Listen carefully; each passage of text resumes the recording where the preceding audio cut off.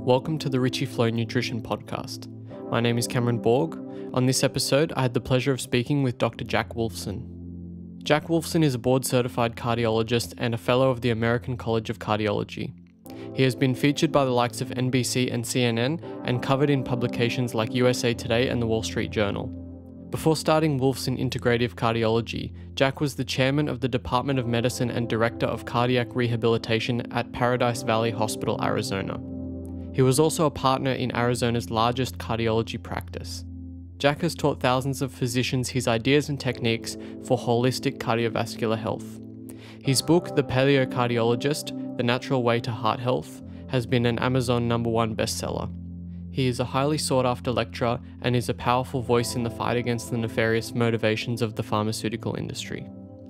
I had a great conversation with Jack. He's a really switched on guy, and I really like his simple and broad reaching approach to health. He's been able to take the best ideas from many of the great researchers and authors of past and present and put them together in a complete approach, not only for cardiovascular health, but for all aspects of health and longevity. With all this being said, I hope you enjoy the episode.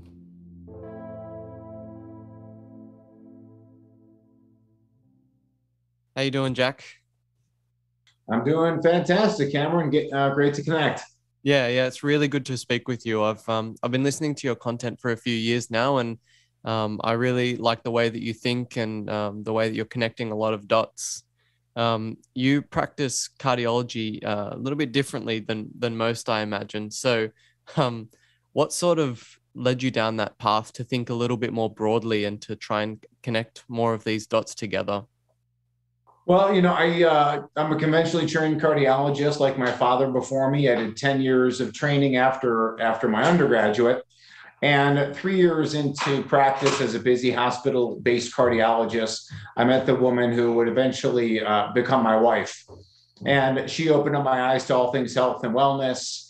Uh, at the time, I saw sickness all around me. I saw sickness in my own family, including my father, who was dying of a rare Parkinson's-like illness and the Mayo Clinic, obviously one of the most pristine uh, and uh, you know prestigious and esteemed hospital systems in the world, had no treatment for my father, and they also had no reason why my father was sick. And then I meet this 29 year old chiropractor, and she's got all the reasons why my father is sick. She said, you know, the way your father eats, the way your father lives, the way your father thinks, uh, everything about you know your father's lifestyle is geared towards him being sick. And again, it made perfect sense. And ultimately, I would start to change. She said, "You need to become a DC." I said, "DC? I, like I should go back to car, you know, I should go to chiropractic school for years." And uh, I said, "I just finished up all this medical training." She said, "No, not a DC doctor of chiropractic, but a DC doctor of cause."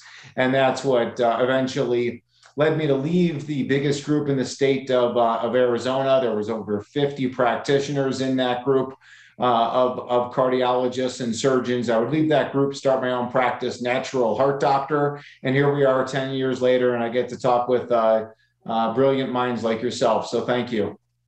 No, thank you, Jack. Um, I'm, I want to get straight into it. Um, hardly anyone talks about how the heart is an electromagnetic organ. Um, almost everyone knows that you can uh, pick up the movements and, of the heart, you know, with um, with electromagnetic um, you know sensors. So what do you see as the impact of our increasing use of things like phone phones? We've got cell towers popping up all over the place computers you know wires all throughout the house.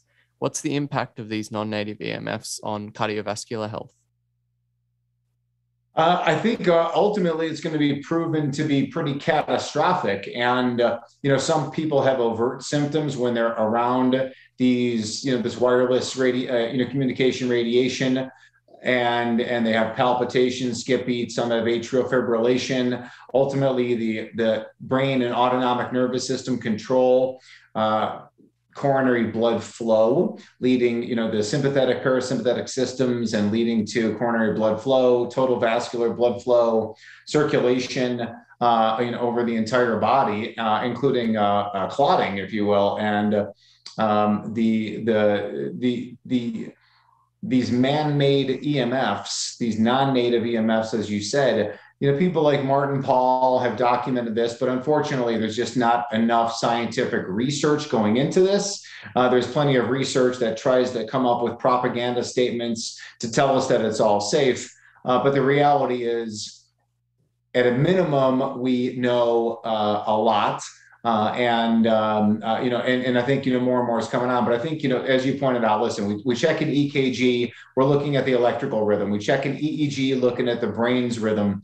Uh, we check an EMG, we're looking at the neuromuscular interface. We are all electric, all electricity, and the man-made EMFs have to negatively impact that uh, that process. So when you're working with patients, is your advice mostly just to you know disconnect, turn turn the devices off, switch them off, uh, get get as far away from them as possible? Um, you know, it's almost impossible to get away from them completely. But um, do you see results when people you know switch them off and get you know cut out all the power to their house at night and turn the Wi-Fi off and and that kind of thing? Well, I think that, uh, you know, obviously we tell people a lot of different things as it pertains to what I would say is the whole eat well, live well, think well process. So when we get people to eat the right foods, live the right lifestyle, think the correct thoughts, think their best thoughts, that leads to the best results. Now, inside of that live well is, you know, removing the environmental toxins and pollutants. And of course, man-made electromagnetic radiation would be one of those environmental toxins. So listen, as you said, we're never going to be able to totally avoid it. One of the main things I love to talk about is the movie Castaway with the actor Tom Hanks. And he winds up on a remote island. He's eating coconuts, fish, and avocados. And he's getting you know sunshine and he's and he's going to sleep on time. And there's not you know much uh, if any you know pollution that's there. And you can say well of course he doesn't have wi-fi there. There's no smart meter there. He doesn't have a cell phone there. But there are satellites you know over every you know square you know inch of this entire planet and uh, you know radio communications that are going on you know worldwide. So all of us are impacted. I think all we can do is the best you can. Yeah turn off the wi-fi at night. If you can turn off the circuit breaker to your bedroom, that's another positive step. If you can move the bed away from the electrical switch uh, and electrical socket, where most people, right, their their reading light or whatever, you know, their lamp is plugged into the wall right next to their brain. Unhook that. You know, get a get a um, a trimeter, you know, and see the the EMF that they're being exposed to in their home, getting rid of the smart meter, some simple thing, you know, turning off the cell phone at night, or very least putting it on, on alarm mode, or even the very least uh, would be for someone who's like, listen, you know, I've got a, I've got a teenage uh, uh son or daughter, or uh, someone I need to keep in uh, close contact with. Well, then just turn off the mobile data on your phone. So it's not constantly being up, you know, email updates and everything else that's coming into your phone. It's just the phone uh, function. But those are some strategies that we use. Awesome. Yeah, I, I really like those strategies. And I think over a long period of time, you know, we're talking about a lifetime of exposure. If you if you can minimize it just a little bit every single day, then over the course of a lifetime, it can make a huge difference. Um, well, you know, it's it's not up to us to prove that they're unsafe. It's up to them to prove that the technology is safe. And of course, they've never done that. So, uh, you know, in the meantime, it's kind of like, you know, listen, uh, better safe than sorry. These are real easy steps. We're not, you know, listen, you're talking on a computer. I'm on a computer. I use a cell phone. Everybody does. It's just the way the world is.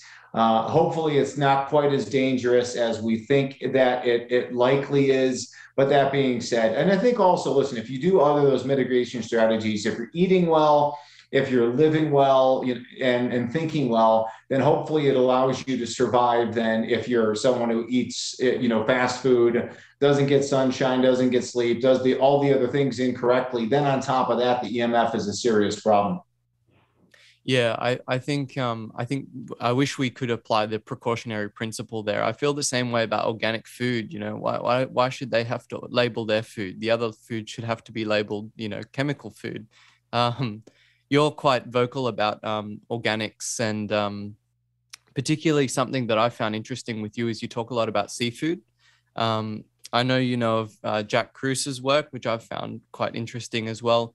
Can you um, let me in a little bit on why you think seafood is such an important part, um, which I think so many people miss. I hardly ever hear anyone talk about seafood. Yeah, and I think also, you know, especially in the carnivore space, you hear a lot of people talking about carnivore diet, carnivore nutrition, and uh, you know, I and I've told this to Saladino, uh, you know, to his face. Uh, Shawn Baker, not so much. Shawn Baker is about 6'4 and about 250. I'd be real careful what I said to that guy in his face. But Saladino, I'll say it to his face. You know, they miss out on the seafood story. They talk about eating nose to tail animal, but again, you got to eat kind of that nose to tail seafood as well. And seafood is the healthiest food on the planet. There is no second or third place. Uh, the people, it, it, all literature says that the pescatarians, people who eat seafood, live the longest, live the best.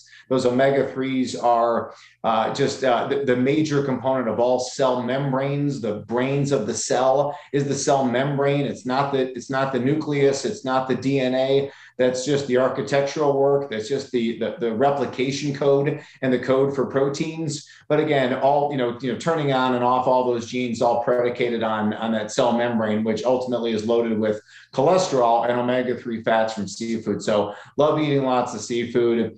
Uh, Jack Kruse, you know, brilliant man. Uh, Jack and I first met in 2017. We both spoke at an event in uh, in Vermont. I've got a lot of respect for his work.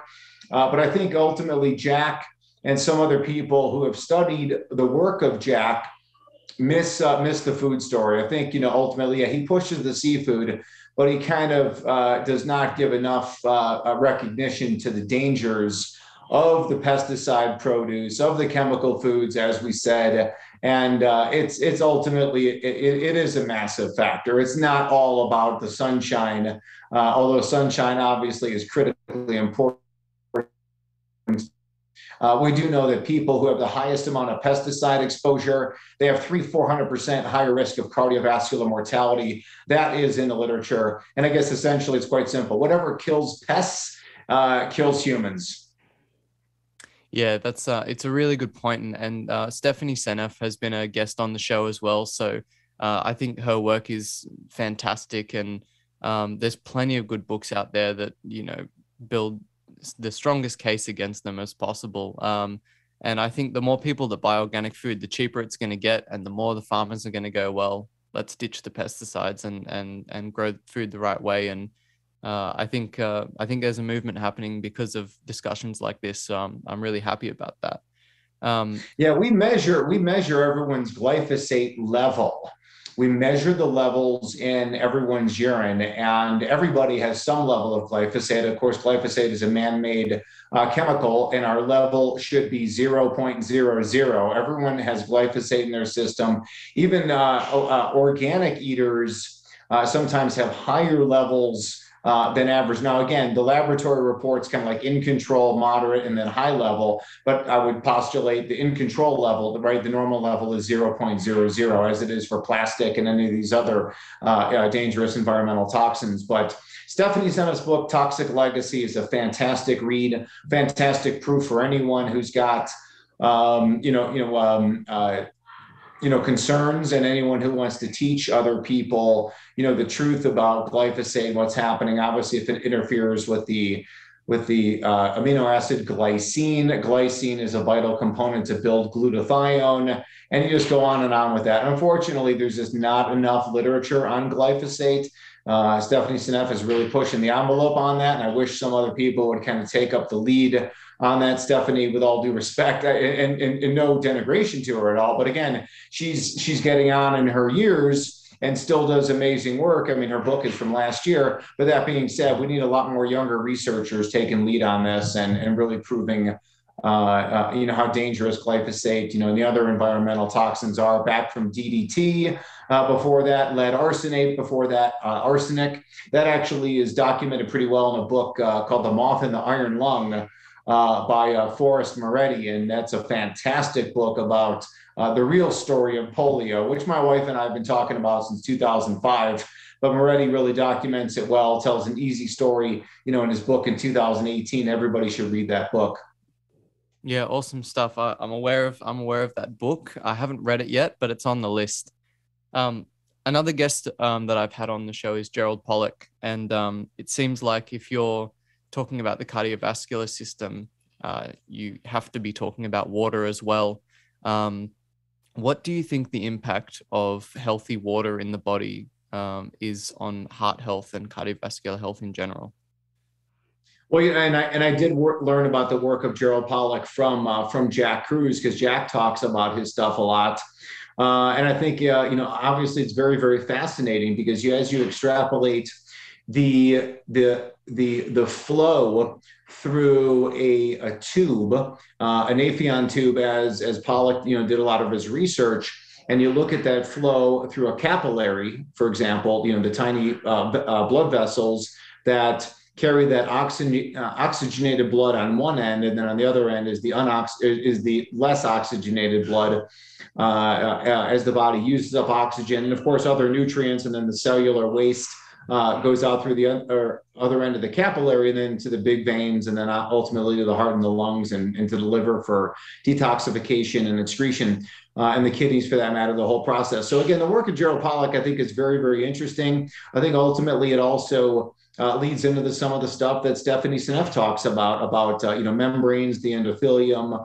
the importance of uh, sulfur and sulfates on the inside of blood vessels and blood vessel flow. And I think really that cardiologists in general just have no idea of that uh, pathophysiology and the anatomy of that region and the importance of understanding it as it pertains to you know to you know circulation and whatnot but you know again um, you know, understanding that the uh, you know, majority of the body in the water is made in the mitochondria, and the health of the mitochondria, of course, as an energy producer of ATP, but also as a producer of water. And uh, you know, again, just kind of you know, looking looking at health and wellness through that you know lens of the endothelium and endothelial health, I think, is absolutely critical. So, really thankful for the work of, of Gerald Pollack to get a lot of that understanding and uh, it's been uh, it's been uh, you know exciting stuff. You know, his book, The Fourth Phase of Water. You know, ultimately, it really really just kind of helps us understand the importance, uh, you know, ultimately of the mitochondria and producing that cellular water. Really cool stuff. Mm. What so? What kind of water um, do you drink personally? Are you a fan of reverse osmosis and remineralizing it, or? Yeah, that's. I mean, that's the majority of the water that we drink. I mean, I'd love to believe that. Um, you know that. Uh, you know, Jack Kruse talks a lot about Pellegrino water. I don't know if he still does or not, but Jack was talking about Pellegrino as the number one water source of sulfur, and again, how sulfur makes glutathione, and sulfur leads to sulfation, which makes blood flow better. You know, for example, and cellular communication better, cell to cell, uh, cell membrane, all those kind of things. So uh, I mean, the issue with whether it's a Pellegrino or any bottled water from an aquifer uh, is is the water that's feeding that particular source, and how do we know the quality of that? Knowing that the whole planet ultimately is is polluted with pesticides and chemicals and metals and and whatnot. So. Uh, the safest water may be, like you said, reverse osmosis water. So it's it's done through a multi-step process to make sure that the water is clean and then to uh, and then to remineralize and also restructure the water as well. So a company we use comes out of California, where ultimately they run the water over river rock and lodestone to add back structure and charge to the water. Uh, I think that's uh, the best water of what we consume, what we cook with. Um, and then understanding obviously that chlorine in the water, fluoride in the water, chemicals in the water. Uh, yeah, and and ultimately, if you're drinking off a well, uh, then you want to get your your water tested to make sure that it's as clean as you think it is. Yeah, definitely. I mean, uh, I'm not sure there's too many people um, in Australia that have uh, well water, but yeah, the water, the municipal water here is pretty terrible. So um, yeah, reverse osmosis is kind of a must here. Um, I guess the water story sort of takes us to the mitochondria. Um, there's probably enough evidence now to um, definitely say that cardiovascular disease is a metabolic disorder. It's a problem with you know metabolic function.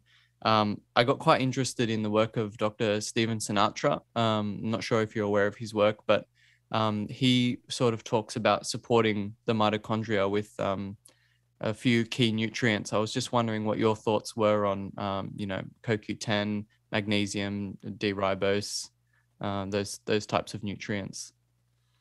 Yeah, you know, ultimately, you know, Stephen Sinatra is the founder of, uh, or the founding father of holistic and integrative cardiology, and, and doctors like Joel Kahn, who I know you've interviewed, uh, and others, you know, follow in the footsteps of Sinatra. So again, uh, having someone like that, uh, you know, you really kind of lay the groundwork in the late 1990s, early 2000s is fantastic. Uh, Sinatra, though, I think you know, ultimately he's. Um, you know, it, it's nice that he has some of those key nutrients, but there's so many other things that uh, that you know that we focus on more so than adding supplemental L-carnitine or D-ribose. The literature on the use of D-ribose again is very very small. Uh, obviously, magnesium is is commonplace and used uh, ubiquitously these days, but uh, you know, so so D-ribose, L-carnitine. I I really don't reach for those in my extreme heart failure patients, uh, I'll reach for D-ribose. I don't have a problem with D-ribose. I'm not aware of any negative to it. Uh, it is a, it is an expensive supplement. So again, it tends to be lower down on my list. And then uh, supplemental CoQ10. Uh, I think uh, you know most people you know agree that supplemental CoQ10 is benefit. Again, we measure everyone's CoQ10 levels, but the most uh, you know play, the, the best place where I would get CoQ10 is eating animal heart. Uh, the animal heart is loaded with with CoQ10. Uh, so which really takes us back to the food story. It's about eating organ meats as you know that is kind of like if seafood is number one and organs are kind of like 1a and the best thing would be the the organ from uh, from a fish, right? And and maybe that's why you know again cod liver oil uh, has been used for for so many years as far as a nutritional supplement, and ultimately it'd be the cod liver, or would actually be salmon liver, which would be that ultimate source uh, of nutrients. And uh, you know, ultimately, if we you know if we could do it with food, we can get people to eat the organs, uh, you know, it's often been said, you know, for many years, obviously, that uh, like supports like, and the heart supports the heart, and the liver supports the liver. Uh, all animals wild eat other animals; they go after the organs first. Same thing in the sea, uh, and I think uh, humans are better off if we follow that uh, that particular path. Yeah, I couldn't agree more. I think um, I think the organ movement is is coming back strong, and I'm really happy to see that because I think it would be a shame to waste the best parts of the animals uh, as well. And um, yeah, it's good to see uh, butchers, you know, starting to get some of these organs, uh, you know, back in the in the front window, so people can start, you know, thinking about how they're going to cook with them because, you know, you really can, um, you know, satisfy a, a, good portion of your needs with, you know, a single serve of liver, kidneys, heart. Um, and you don't need much. I think that's that's the thing. It's it's a it's a great way uh, particularly if you're doing seafood as well. I mean, you cover so many bases. Um, one thing uh, I'm really interested in that I, I know you are as well is using the sun uh, as medicine, using light.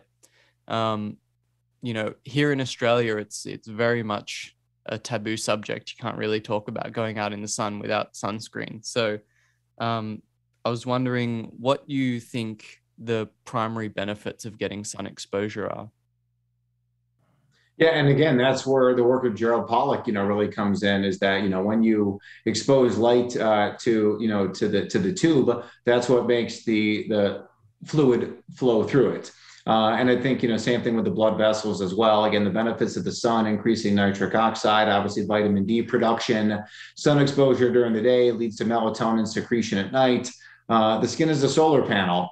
And unfortunately, we've been just uh, you know propagandized in the in the wrong direction. You know regarding that. I mean, again, the, the skin is a light collector. The the, the eyeballs are, are a light collector. And what does everybody do? They walk around with their sunglasses and their sunscreen and their hats, and uh, you know, and ultimately, skin cancer rates are as high as they are.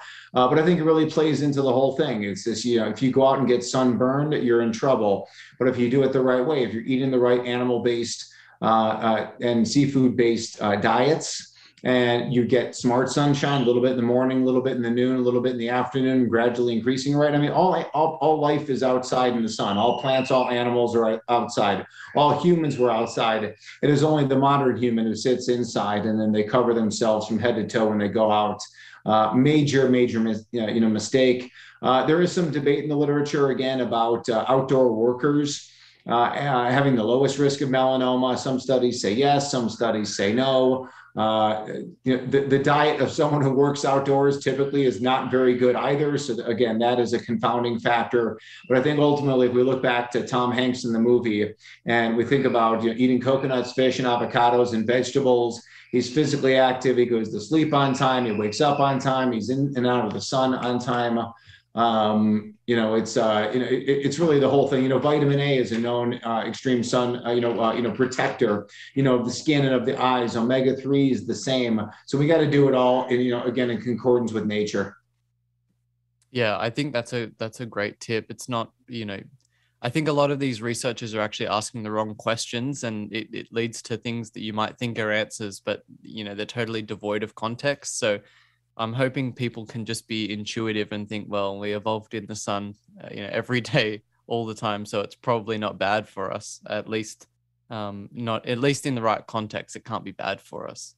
Um, I wanted to ask you about hypertension um, as it pertains to electrolytes. Um, what do you think is the cause of um, hypertension, and what what's the role of um, the primary electrolytes uh, in governing blood pressure?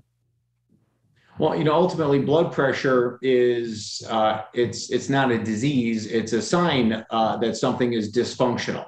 So when blood pressure goes up, there's a reason for that, and we have to find the reason. As I started off the conversation, you know, uh, you know, with my wife telling me to become a doctor of cause. So if we look at it through that lens of becoming a doctor of cause, what are the causes of high blood pressure? Well, it's a violation of all things inside. You know, eat well, live well, think well. So we know again the wrong foods lead to high blood pressure, the wrong lifestyle, lack of sunshine, lack of sleep, lack of physical activity, exposure to environmental toxins and pollutants. Uh, poor dental health, uh, uh, vertebral subluxations, and lack of chiropractic care. And then again, stress, anger, anxiety, depression, social isolation all lead to elevated blood pressure. Uh, back to uh, Dr. Stephanie Seneff, and again, where the, the sulfur deficiency would lead to high blood pressure as well. And then I guess to answer your question, certainly deficiencies of magnesium are very well known to lead to high blood pressure, but don't forget about potassium. As we test people's levels, test, don't guess.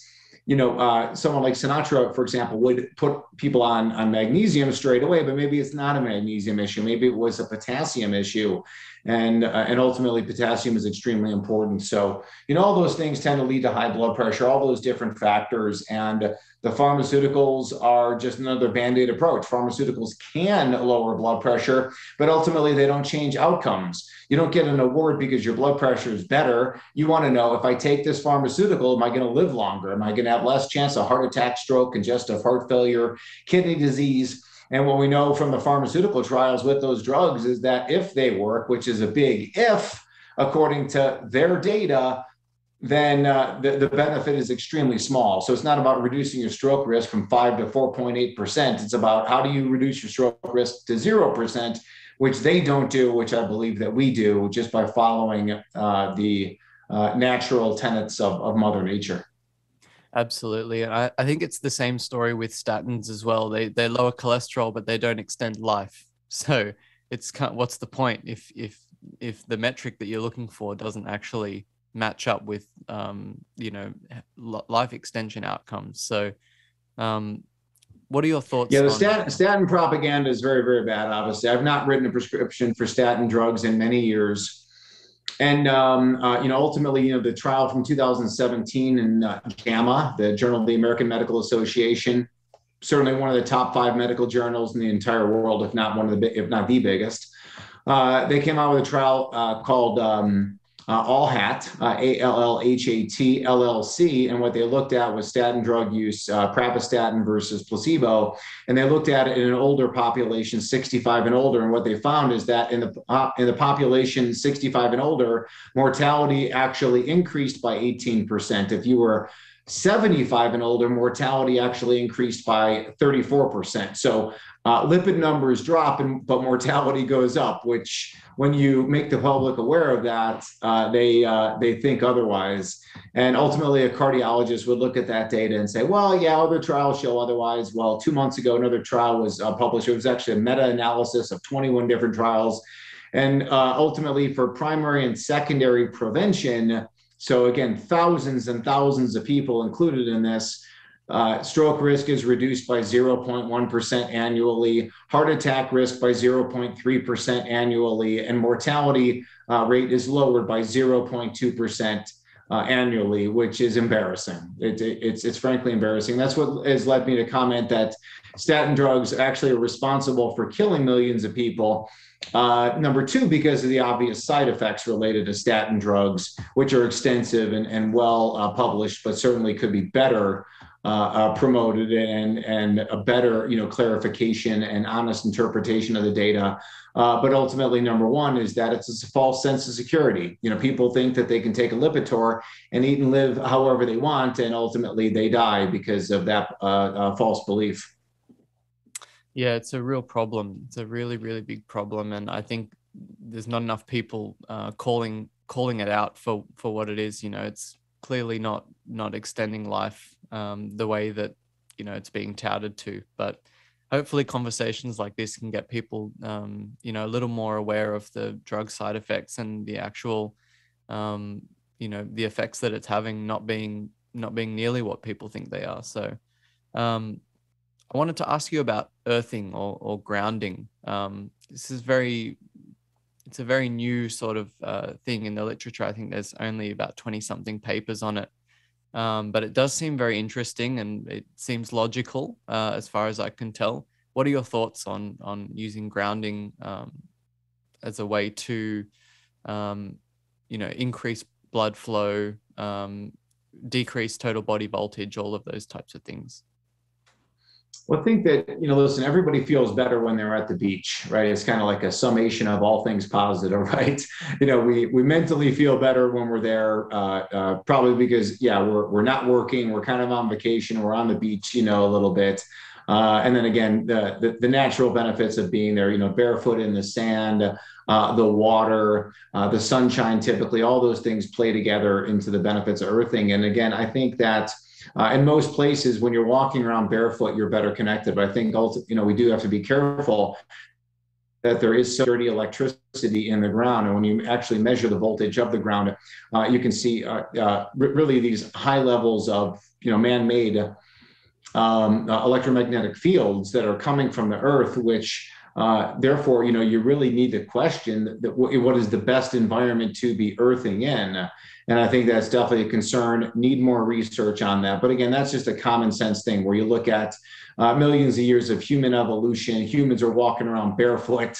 Uh, and uh, I think ultimately it's a better, better strategy from a biomechanics, uh, you know, basis, a functional basis.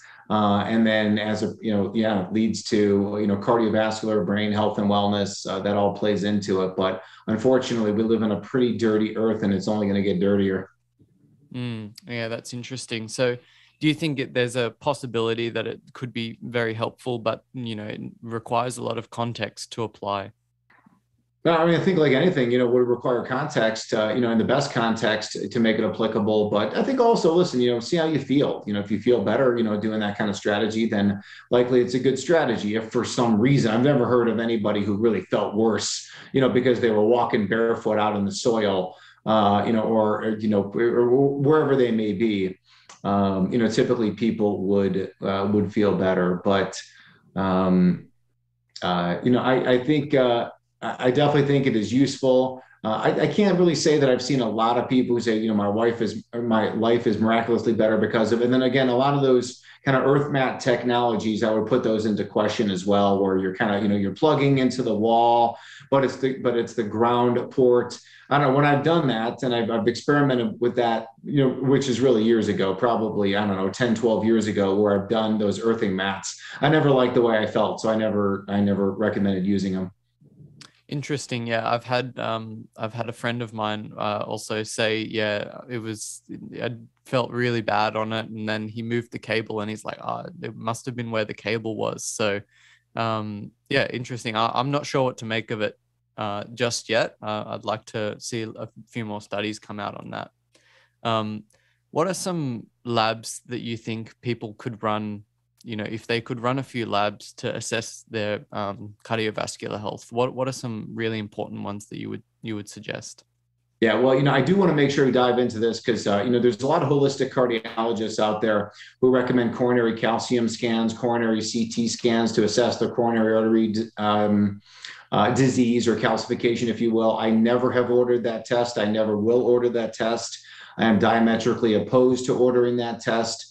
Uh, obviously, it's radiation based, heavy radiation and uh, I don't think it's helpful. I don't think it changes what my plan is. So instead of doing that, I do the most advanced laboratory testing in the world, where you're looking at all the markers of inflammation, oxidative stress, and advanced lipid, lipids and metabolics, intracellular vitamins and minerals, and glutathione and CoQ10 and omega 3s. But uh, something I think also is a 21st century crisis, which deserves a lot more attention uh, than than uh, and, not to minimize these other things, but deserves more attention than EMF, uh, toxic metals, uh, you know, whether or not we should ground or, you know, supplements. And that's a subject of mold and mold mycotoxins. Mold mycotoxins are released from the mold.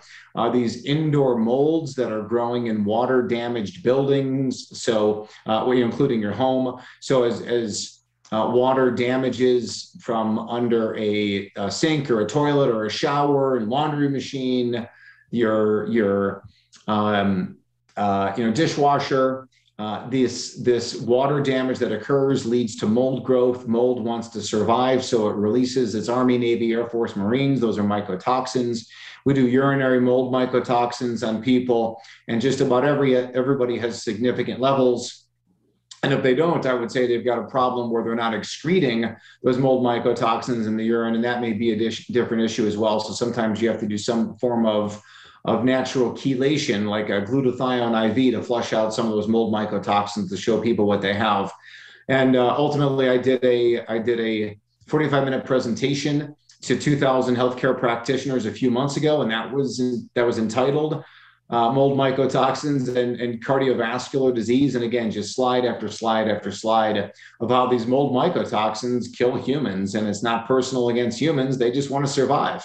So the the uh, the weapons that the that the mold has developed uh, to get rid of insects and other bacteria and, and other molds, you know, for that matter. They're trying to protect themselves, and in the protection of themselves, they injure humans. And uh, again, what's lurking under the walls, under the shower, under the sink, under the toilet, uh, could literally kill you. So again, test, don't guess. Figure out the levels there. are Other environmental toxins that we also test for, right? So pesticides, phthalates, parabens, uh, VOCs, uh, BPA, you know, and, and plastic levels. All those things help to give you insight as to as to what's going on, giving you the cause, the why of why people are sick. And uh, the more we continue to uncover with all these uh, all these tests, we can really show people the difference. But you know, ultimately, I rely on that information as opposed to a coronary CT scan where your score is, oh, you're a 200, you're a 300, you're a 400. Okay, now what? well, uh, I don't know. I guess you could go on a statin or you could take an aspirin. You know, that's that's the kind of information people get out of that. I hate. I, I really, really hate that test. Um, and uh, it's unfortunate because a lot of holistic providers promote it, and um, yeah, it's just uh, it's just the wrong move. Yeah, that's super interesting. I I wholeheartedly agree with that approach. You know, um, what what's the point in having a number if you've got no plan? Um, I think the mold story is one that's you know really going to play quite an important role in um, medicine in, in the coming years because I think there's so many people who are struggling with mold illness who have no idea they're even struggling with mold illness. Um, from my understanding, it's very, very difficult to remediate a mold damaged house. Uh, it's very expensive. It's time consuming. You have to like leave the house. Uh, so for those who might be in, you know, a, a new house or uh, they they they know they don't have mold damage yet. What steps can you take to prevent mold from from growing in the first place?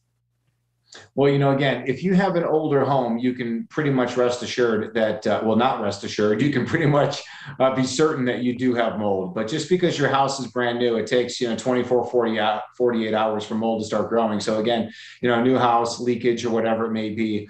Um, and, and, how do you prevent that? It's really just, uh, just being super diligent about your home and, and, and, and where the water is and making sure that it's not there, hiring inspectors, and again, testing yourself. Those are all possibilities. Now, the remediation aspect is very difficult. It can be difficult, it's very expensive. Um, it leads to a lot of divorces. It leads to a lot of financial bankruptcies. To a woman, for example, who is overtly sick, where she has extreme brain fog and migraines or has fertility issues that woman would be very easy to get her to understand that the mold is leading to her symptoms and she will be very quick most likely to enact the changes that need you know be made. But what about the 63 year old guy with atrial fibrillation or the 59 year old woman who recently suffered a heart attack? Uh, getting them to understand that mold is part of the problem can be a little bit more difficult. And then as you said yeah when you talk about uh, you know, the, the cost of remediation. Can you even remediate some homes? And now people are spending tens of thousands, hundreds of thousands of dollars. Or you tell people you have to throw out all your clothes or all your, you know, and all your furniture and all your uh, familiar, you know, family mementos. Or you tell someone, here's what I want you to do. I want you to shower and then I want you to walk outside naked where you will have a fresh, brand new pair of uh, organic uh, cotton scrubs or or sweatpants and sweatshirt or t-shirt or whatever it may be uh, waiting outside and then say goodbye to your old life and start new. That's a difficult proposition for a lot of people, especially if they're suffering from mold, uh, you know, you know, from uh, you know, from brain fog and some of these other things. Or again, uh, you know, uh, four out of five times it's the woman, and then how does the woman convince the man, her husband, hey, we got to pay for all this money, do all this stuff. Um, it's uh, and, and ultimately all these things lead to why this is such a major crisis, but just because it leads to all those different issues doesn't mean that we shouldn't diagnose it, shouldn't tell people. And uh, you know, again, there's air purification strategies. There are binders and detoxification strategies that can assist the process, but you have to get out. Uh, you know, you got to get. You know, you got to remove the source.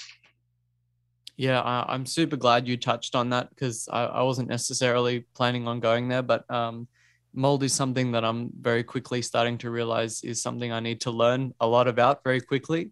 So I'm glad you brought that up. Um, I'm probably not going to. Well, take... you know, I mean, well, let me say, uh, you know, Cameron too. It's like, well, you know, hasn't mold been around since the dawn of humans? And the answer is yes. But again, the building materials, the you know, the locked-in homes, the lack of breathability of modern homes clearly leads to a problem. And then you take the mycotoxins, and then you add everything else on top of it, right? Violations of eat well, live well, think well. So you take a population that doesn't eat the right foods, they don't get the sleep, they don't get the sunshine, they don't get the physical activity, they're exposed to all the environmental toxins that we previously discussed. Um, they're, they're living in a state of inflammation uh, for all those reasons and poor dentition. So it's uh, you know again it's uh, it, it's why it really you know leads to the 21st century crisis of what it is, but it's pretty darn uh, difficult to heal from the other things when you're still living in this, uh, you know, swamp and breathing in the mold mycotoxins. Big problem. And ultimately, yeah, sometimes you know it's why a lot of people, you know, I think a lot of people feel better when they're on holiday or you know, as, as you guys would call it, on vacation, as we would call it. So we're on vacation, we feel better. Well, again, the stress is reduced but the environment changes up.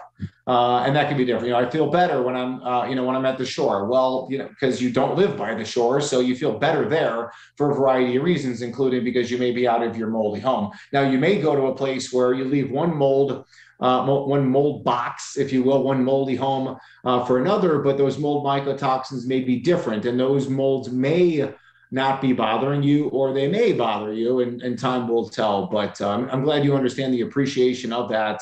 And again we've got the ability to test uh, for it in urinary mold mycotoxin testing. And uh, the literature uh, although again it's not effusive you know when you compare it to you know blood pressure drugs statin drugs uh, you know chemotherapy agents you know all, all the all the literature that's been produced on covid over the last two years right supersedes uh, every bit of health and wellness information that's ever been uh, uh, put into the literature. So yeah, we, we got our work cut out for us.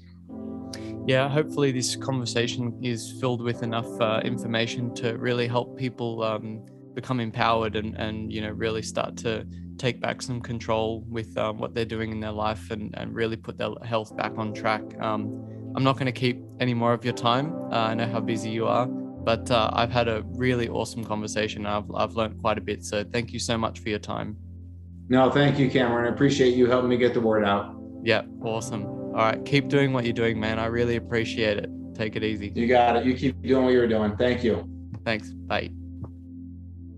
Thanks so much for listening to this episode. I sincerely hope you enjoyed it. If you'd like to keep up with Jack's work, I've put all of his links in the episode notes. If you'd like to support this podcast, you can subscribe on Spotify, YouTube, and Apple Podcasts. You can also leave up to a five star review on Apple Podcasts. This is a simple, no cost way to support my work and help me reach more listeners. Please feel free to leave any comments on my YouTube channel as I do try to read through as many as I can.